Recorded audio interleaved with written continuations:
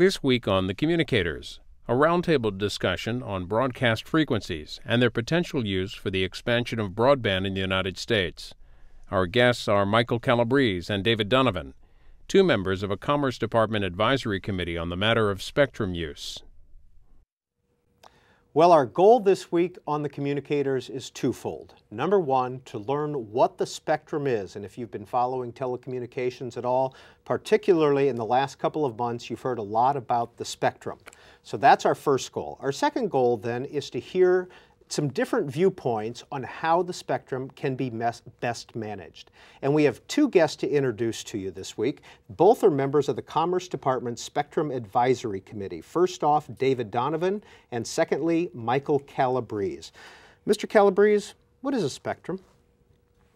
Well, what we, uh, much more commonly known as the public airwaves, it's really not a tangible thing at all, but the electromagnetic properties of the Earth's atmosphere which allow the transmission of radio waves.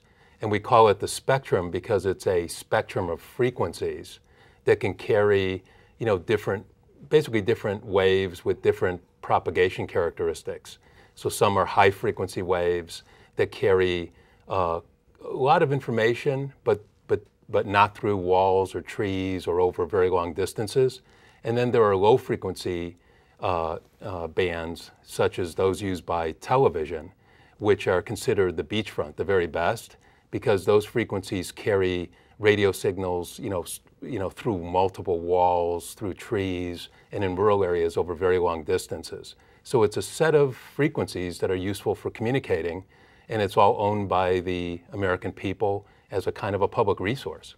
David Donovan, anything to that uh, definition that you would like to no, add? No, I, I, think I think that's essentially correct. I mean, since you know, the age of Marconi, and actually it, it started with the sinking of the Titanic, of all, all things, wireless communications have been important in this country. And through the Department of Commerce, and, and certainly since the 1920s through the Federal Radio Commission and the Federal Communications Commission, you have the government, uh, a government entity that has been established to examine uses, and to set up a licensing structure which will allow certain businesses to use certain parts of the spectrum for certain things. Federal government use and military use, of course, is still controlled uh, through the Fed by the, the uh, Department of Commerce and the uh, Independent Radio Advisory Committee. But the commercial side of the business, be it television, be it radio, be it cellular telephones, is regulated through the Federal Communications Commission. When was the spectrum discovered? The spectrum was discovered, frankly, when the first person opened their mouth and, and, uttered the spoken word. It is the ability to transmit and send information over a frequency in which can be heard by the human ear. Um, as you move higher up in frequencies, we, of course, as human beings, may not be able to hear them, but you can develop devices that are capable of listening and hearing and transmitting it back into sound waves and in frequencies which we can hear. So it, it, it, has been there, and it has been commercially looked at probably since around the turn of the century. Michael Calabrese, is the spectrum finite? Uh, well, it's, it, it, that's an interesting question because, I mean, it is finite in terms of the number of frequencies because when you get beyond the radio spectrum, in other words, when you get into, you know, ultra high frequency, you're starting to get into other other types of, uh, you know, of of, of uh, electronic uh, airwaves, such as uh, X-rays and and gamma waves and and light and visible light. That's all part of the same spectrum. So what we're talking about is a very tiny part of the spectrum that's useful for uh, radio uh, communication that can carry digital bits. And we're talking about sound and radio here, but this also, the spectrum also carries pictures. Correct. I.e. TV. Absolutely. All spectrum, everything on the spectrum is wireless, correct? Correct. Okay. Well, we found this crazy quilt online, and this mm -hmm. is put out by the National Telecommunications and Information Administration of the Commerce Department. And this is kind of a visual map of what the spectrum is. Now, this large section here is devoted to AM radio, mm -hmm. uh, and these sections here that you see, these blue ones, are all broadcast TV. They seem to have a lot of the spectrum. Is that correct? Well, they do, although I, I, think, as I said, that, that chart is logarithmic, so it actually overstates in, in terms of a picture, what the actual amount is. For example, in the beachfront spectrum that, that Michael has referred to. And why do they, again, why do they call it beachfront? Well, that is the area of spectrum, and it's, it's actually a debate about that, um, in which you are using spectrum which has fairly good propagation characteristics to carry signals over fairly long distances. Um, actually, the best area for carrying signals over long distances is your AM band. So lower you go, the longer the signal can get out there. For video, um, television occurs in both, you'll see two segments here. One is VHF and one is UHF. And in fact, it's in the 70s with the development of UHF reception capability that that band really blossomed in its ability to be used for, for video pictures. I guess the one thing about that chart that is somewhat deceiving only because of the way it's laid out is of that area, the 225 to 3.7 gigahertz, the so-called beachfront that everyone has been talking about in Washington. And where is that on this chart? It's uh, it Go ahead starts. and point to it well, if you will. I'm trying to, like most things, I need glasses to see this. It essentially starts a little bit below channel 14 and moves up. It starts somewhere around here and moves further up the band up to here. Okay. The, uh, the thing is that television broadcasting actually of that beachfront only has exclusive use of roughly 5.1% of the spectrum. Now, in major markets, we share spectrum, and you can see that on that chart, channels 14 to 20, with police departments and land mobile operations. So all in all, we use about 8%, which means about 91% of that so-called beachfront spectrum is actually used by some other entity. How is it licensed? How is Spectrum licensed? Well, yeah, that that's an important point because one thing this chart um indicates is that everything is spoken for. So when you look at all of these bands of frequencies, there's, uh, you know, as you said, a crazy quilt of, uh, of, of different uh, allocations. And these are just allocations. Behind this are tens of thousands of licenses. And uh, the, the way that works is that a whole lot of the spectrum, in fact, far more than the broadcasters used, is reserved by the federal government for its own operations. What, what, So- what percentage of the spectrum is reserved by the government? Well, again, what's you know the thing about spectrum is it's like real estate: location, location, location. So the federal government uh, has, I think, roughly 40 percent of the so-called beachfront of the uh, of the spectrum that's selling for billions of dollars at auctions, and they're using very little of that at, at any particular place or time. Uh, the military is by far the largest holder of, of spectrum. Uh, you know, th- they want to have it in case they need it. You know, for certain And uh, where missions. on this chart would the military spectrum lie? Well, th- they are Throughout? I yeah, mean, th- throughout. thr- throughout. And yeah. how would it be labeled on this chart? It may not even be labeled, or it might be labeled as government use. Okay, Yeah. they have There are- use, they've there got are re- fixed. They have fixed, they have mobile, they have radar capabilities. Okay. Um, and, in, and in fact, uh, to Michael's point, I think one of the things, whether you, you started with the spectrum is finite or not, it is finite to the extent that technology exists. So, for example, um, you have in the five gigahertz band, which is way up Okay. at the far end of that chart. If we could stop, what Right. is a gigahertz? What is a megahertz? And Right. is it a, a KHZ? What does that What does that stand for? Kilohertz. Kilohertz. Okay. Uh, essentially, what you're looking at is is a description as to how many. Think of frequencies as channels, almost like a checkerboard, and or as a, or as a ruler. And as you start down low, you're at the lower end of the band, and as you move further up, in the kilohertz. you're down on kilohertz, and then you go up to, and then you go up to megahertz, and then you go up to gigahertz, and the further up you go, as, as Michael indicated, the shorter the, the you almost need not line of sight to use those bands. So, for example, at a higher band, military radar may work quite well. Right. Uh, at five gigahertz, for example, there's military radar that's used up there because it's line of sight coming back and forth from planes or what have you flying overhead. But recently, we have been able to, as technology develops, use that part of the band, which is non beachfront, as it were, for other services. So, for example, you have unlicensed Wi Fi services that share uh, with, with military radar in the 5 gigahertz band. And so they're up in the gigahertz. They're all over, actually. We can, they're, they're plopped in various locations. Why? Why? Why are they in various Oh, locations? well, actually, because, you know, different frequencies are useful for different uh, services and activities. So, uh, so for example, for a, a, a line, you know, a line, a line of sight sort of activity, like uh, such as certain radars uh, or what they would call backhaul, like if you're trying to send a whole bunch of data, almost like wireless fiber, um, you know, you would want to use a high frequency, whereas you want to use a low frequency if you're trying to go a very long distance, uh, even though that would take more power, for example. Where would an Apple, the Apple company, um, where would the iPod fit on this chart? I mean, in, in the kilohertz, megahertz, gigahertz, again, all over, and how much space would they be taking on this spectrum? Well, a lot of those frequencies that would you would be used for wireless broadband, the, the television stations, which occupied from channels 2 to 69, gave up what we call the seven, not gave up, but reallocated the 700 megahertz band. In effect, for your viewers, that's channels 52 to 69.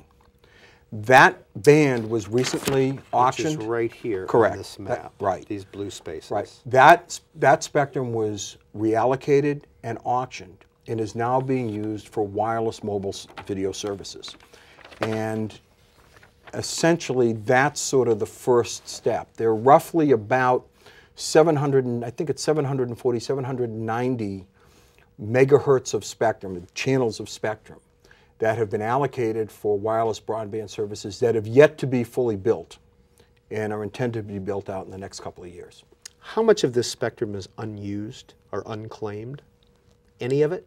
Um, well, that's very interesting because the conventional wisdom in Washington is really this chart, which looks like, you know, everything is being occupied. And certainly everything has been allocated for a service and assigned with a license to, you know, some party or the other, whether it's the whether it's to a federal agency like the military or the commercial spectrum has been licenses are issued uh, you know, for, for, for use.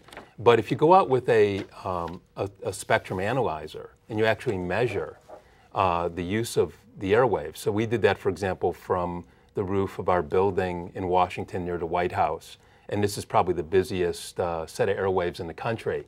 And there was another study that did it in Manhattan and in many other places.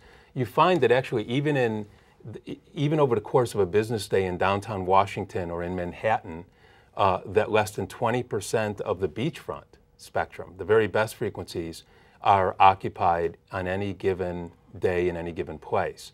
In the uh, kind of ex-urban and rural areas, it's single digit.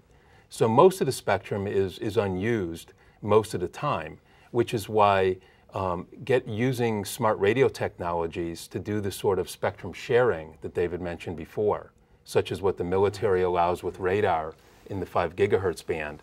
That is really, you know, where we believe we'll find, you know, the greatest amount of new capacity that will be needed to meet the exploding uh, demand for mobile broadband data, like the iPhone. And, and we slightly disagree on this. Actually, we significantly disagree on this. Um, uh, for example, if you go into New York City and you say, these are the channels that are being used in the beachfront, for example, and television stations are on 24 7, and we are using all those frequencies. Now, we also share frequencies with three of the television channels that are now used by public safety in New York City. Now, depending on standing on a roof and putting on a monitor, you may not pick up all that public safety use because those radio communications may be relatively short. So it looks vacant, but it isn't. In addition, C-SPAN, CNN, every local news operation are using those channels for wireless microphone communications going and going back and forth and reporting. Depending on where you stand, and I know, for example, in New York City, it was in, I believe it was in the other side of the river, you won't pick up those channels being used. So that's one piece of this. The other piece of this, and I think it's really, really important here, when you start looking at whether it's broadcasting or any other use, when you have equipment that has been sold and the public has been consumed, for example, with television, consumers just bought $109 billion worth of digital equipment. The government subsidized 34 million DTV converter boxes. Now, if I'm tuning to channel 20 And that's all over the air That's use all of the over the air use of the spectrum. If I turn to channel 20 right now, and suddenly I have someone using channel 21 in Washington, D.C., um, I will interfere with someone trying to watch channel 20. So when you talk about spectrum not being used or being used, you can't talk about that in a vacuum. You have to really, it's ultimately a consumer issue, and you have to look at what equipment is out there and how it is functioning and how it is operating. Because the idea of more efficiency has to be examined. Nothing is more efficient if the net result is that the equipment doesn't work because of interference. And I don't want to, we can get very much into the engineering aspects of that, but it is a consideration that's often overlooked in these discussions. And we will. This is the Communicators program on C SPAN. We're talking about the spectrum, the radio spectrum, the broadcast spectrum, trying to find out what it is and best ways to manage it. Our guests are David Donovan and Michael Calabrese. Both are members of the Commerce Spectrum Advisory Committee.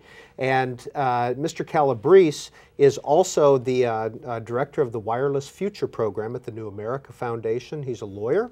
And Mr. Donovan is also a lawyer and president of the Association for Maximum Service Television. So you get an idea of where they're coming from. Gentlemen, uh, recently on this program, FCC Chair Julius Genachowski was on, as was Marty Cooper, mm-hmm. the founder of the cell phone. And mm-hmm. both had something to say about the spectrum and efficiency. Mm-hmm.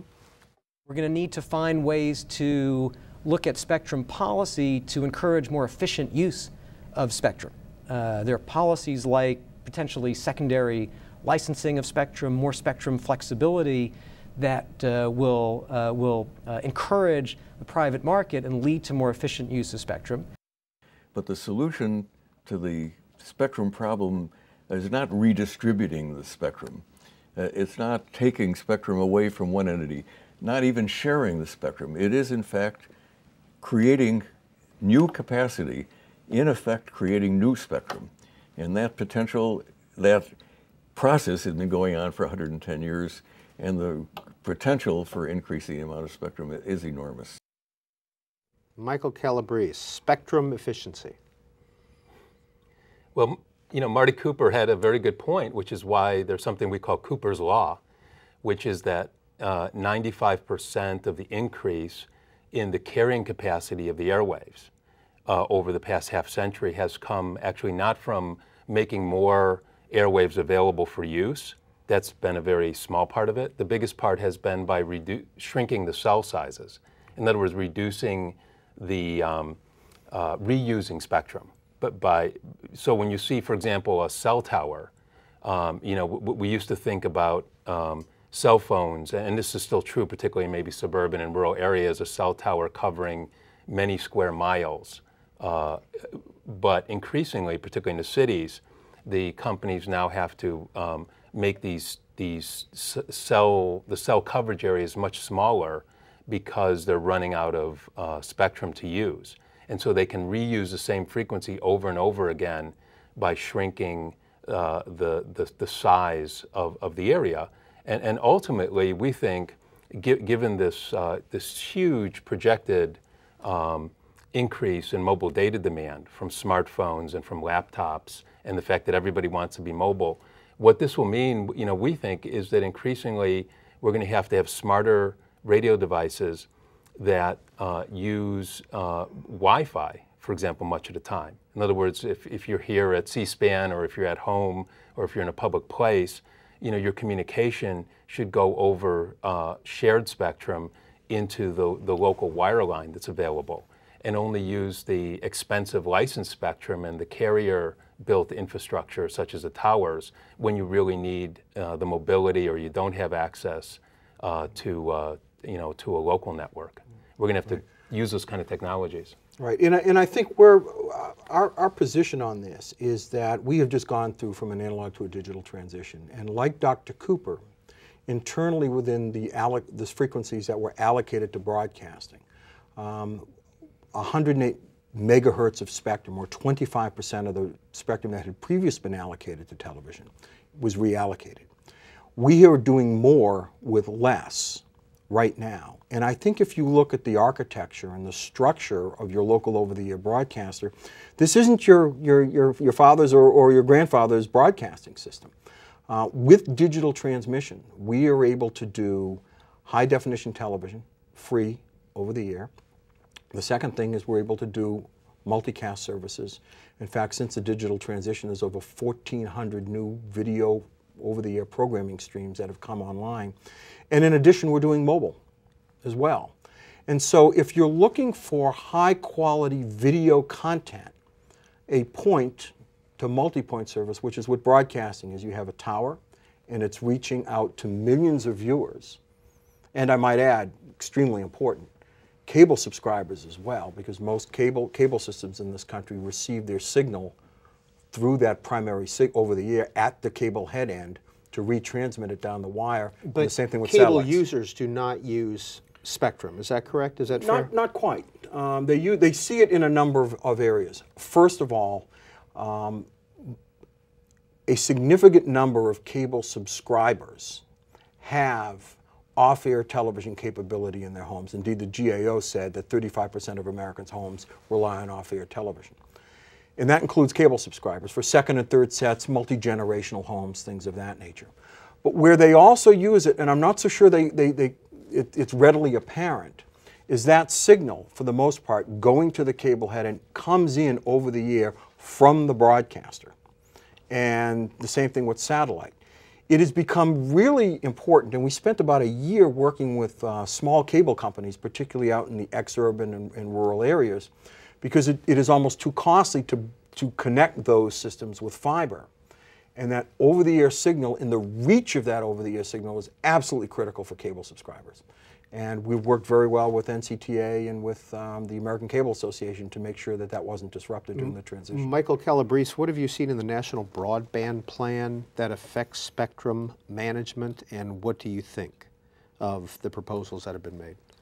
Yeah, the, well, there's some uh, some very good good things in there. Um, we thought there was, uh, well, for one thing, there's there's an emphasis on reallocating spectrum that may be available for auction uh, on an exclusive basis to companies like you know the Verizons and the AT&Ts for you know devices like the iPhone.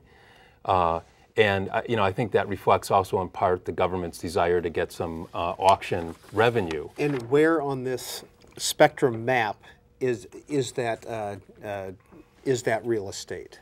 Well, th they're looking again, for it again the, the so, beachfront, so-called beachfront below 3.7 gigahertz. Yeah, there and and and up. Right. And and the plan. And when you say up, do you mean uh, well higher up the band? Higher yeah. up in the no that way. this way, this yes. way. Okay, all right. Okay. So um, right, and uh, in fact, the plan specifically, in fact, one of the most controversial things in the broadband plan is uh, the recommendation that an that an additional uh, 20 channels of television be reallocated uh, for for broadband. So to, to, move from broadcast to broadband, even though we just we just went through a DTV transition to free up 18 channels, the plan calls for freeing up another 20. And, and do you support that? Do you agree with that?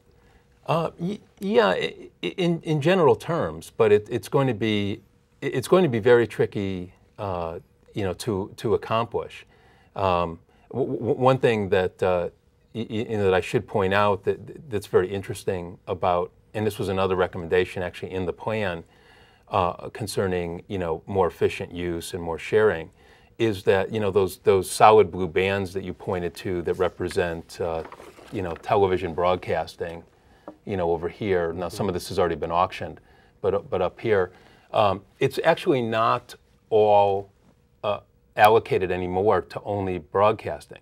So TV broadcasting, there are um, some somewhat over 10,000 local channel slots for TV stations, but only about 10,000.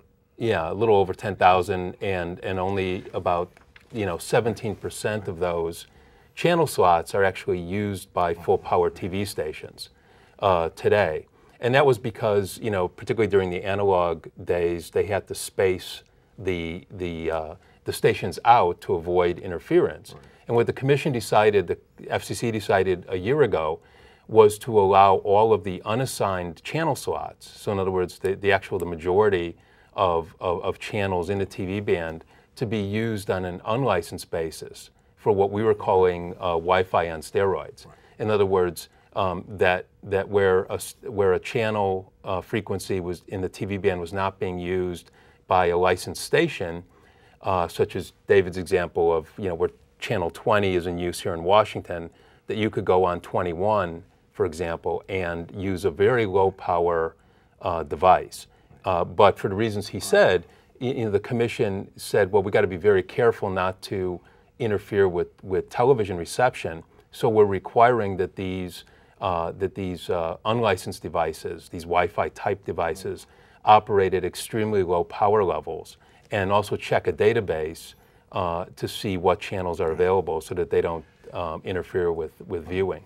David Donovan, the National Broadband Plan and Spectrum. Well, I think we sort of agree with Dr. Cooper, and that is, is it's not spectrum management doesn't dictate essentially taking spectrum away from an existing user that's, that's serving hundreds of millions of viewers in the, in the United States. Um, and if you begin to look at the broadband plan, um, I, I guess our perspective is this. We actually believe, as I've indicated, given the developments of over-the-air television at this point, in terms of mobile, in terms of additional video services and additional things, that we're part of the overall wireless architecture in this country. And indeed, as you go forward and you look at the demand, or at least that has been avowed the demand, the vast majority of that is to see video pictures, which of course our architecture has already been built and is indeed providing.